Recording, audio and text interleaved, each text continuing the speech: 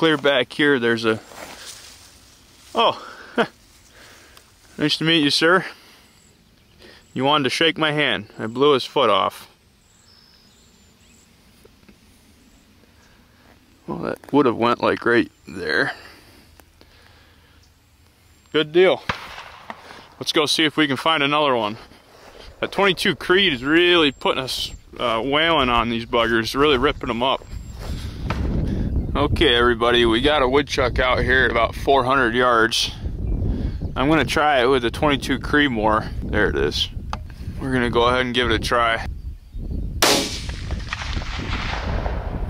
Well, I think we got him. I uh, actually, I think I hit a tad bit low, and the round might have, uh, I might have got it with shrapnel, but it wiggled around there for probably 30 seconds and then fell over dead. So we definitely got him.